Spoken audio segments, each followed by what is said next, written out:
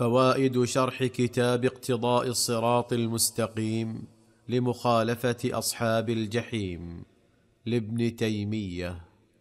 فهذه الأمة مثل الأمم السابقة. من بقي منها على الحق فإنه ينجو.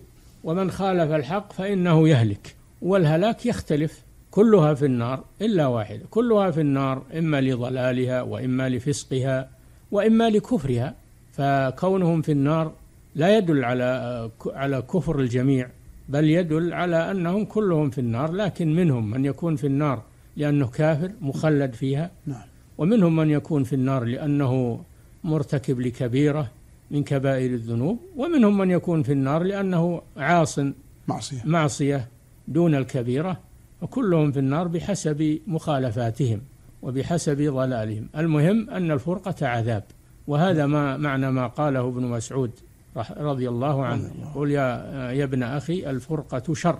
لا شك أنها شر وأنها عذاب. فلهذا النبي صلى الله عليه وسلم في هذا الحديث أخبر خبرا معناه التحذير.